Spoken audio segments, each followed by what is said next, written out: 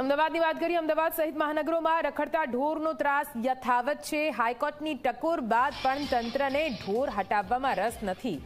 રાજ્ય સરકારે સમસ્યાના ઉકેલ માટે હજુ સુધી કોઈ નિર્ણય નથી લીધો. કોર્ટની દરેક સુનાવણીમાં સરકાર ગોળ ગોળ જવાબ આપી રહી છે. કોર્ટને બતાવવા માત્ર કાગળ પર કામગીરીના આંકડા રજૂ કરવામાં આવે છે. જો કે કાગળની કામગીરી અને વાસ્તવિક કામગીરી તદ્દન અલગ છે. અમદાવાદમાં ઠેર ઠેર જોવા મળી રહ્યું છે ઢોરનું સામ્રાજ્ય. એએમસીએ બે વખત નવી પોલિસી મંજૂરી માટે મૂકી છે. અભ્યાસ કરવાનું કારણ આપી નવી પોલિસી અમલમાં હજુ સુધી નથી મુકાઈ. રસ્તા વચ્ચે રોકટોક વગર ઢોર ફરી રહ્યા છે. લોકોને હેરાન, પરેશાન કરી રહ્યા છે. અનેક વિસ્તારમાં રોડ વચ્ચે ઢોર બેસેલા જોવા મળ્યા. ખાસ કરીને ઘાટલોડિયા, નારણપુરા, ચાણક્યપુરીમાં માલિકો ઢોરને છૂટા મૂકી દે છે.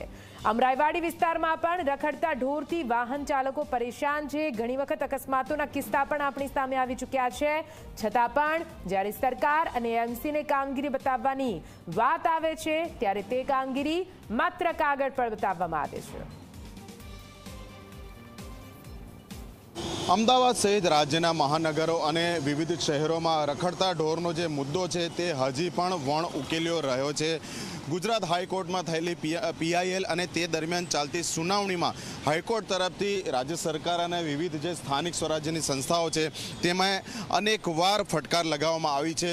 અમદાવાદની વાત કરીએ તો બે વાર મ્યુનિસિપલ કમિશનર તરફથી જે નવી ઢોર ત્રાસ નિયંત્રણ પોલિસી છે તે સ્ટેન્ડિંગ કમિટી સમક્ષ મૂકવામાં આવી છે. પરંતુ હજી સુધી તે અંગે નિર્ણય થઈ શક્યો નથી. જે અંતર્ગત આપ જોઈ શકો છો હજી પણ અમદાવાદ શહેરના જે જુદા જુદા વિસ્તારો છે તેમાં આ જ પ્રમાણે જે રખડતા ઢોર છે, કોઈ પણ પ્રકારના તંત્રના ડર વગર બે રોકટોક ફરતા જોવા મળે છે અને તેના જ કારણે શહેરમાં સમયાંતરે જે રાહદારીઓ છે, વાહન ચાલકો છે, તેમને આ જ ઢોર દ્વારા અડફેટે લેવાના, ટક્કર મારવાના બનાવ બનતા રહે છે. હજી પણ હાઈકોર્ટમાં સુનાવણી ચાલી રહી છે અને હાઈકોર્ટ જે છે, તે સરકારને ફટકાર લગાવી રહી છે.